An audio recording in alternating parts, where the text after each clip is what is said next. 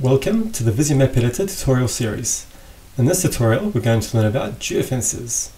In particular, what are they and how are they created? What is a geofence? A geofence is a virtual perimeter that's based on real-world coordinates. Once created, a geofence can be monitored by an application to determine if a position falls within its perimeter. Here are some concrete geofence use cases. An application could monitor a map's geofences to determine which building and floor a visitor is currently visiting. An application could display location-based alerts depending on whether a visitor is entering, dwelling, or exiting a geofence. An application could, for example, control a robot vacuum cleaner so that it works within a specific cleaning area during certain times of the day. We could imagine back-end benefits where an application records visitor dwelling times within each geofence. The use cases are really endless. How do we create a geofence?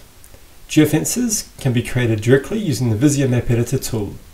First of all, we need a surface.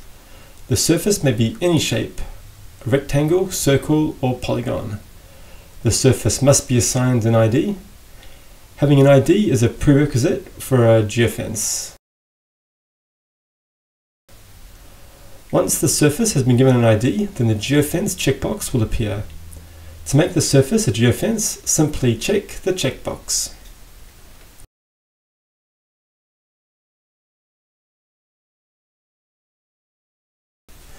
A single geofence may even be created using several surfaces.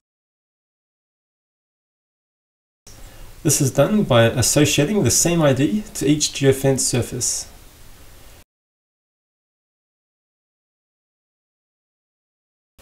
If you want a geofence but don't want it to be visible within the final map, then you can use the footprint style.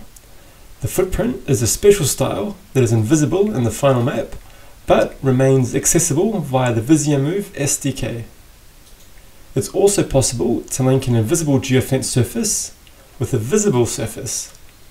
This is done by assigning them the same ID.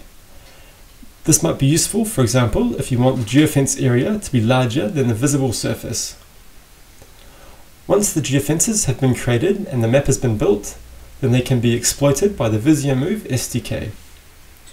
The VisioMove SDK is the tool for determining if a given position falls within a geofence, and if so, it will return the ID of the geofence. It's actually possible that several IDs might be returned for any given position because geofences can overlap. Okay, that's all for geofences. Thanks for watching.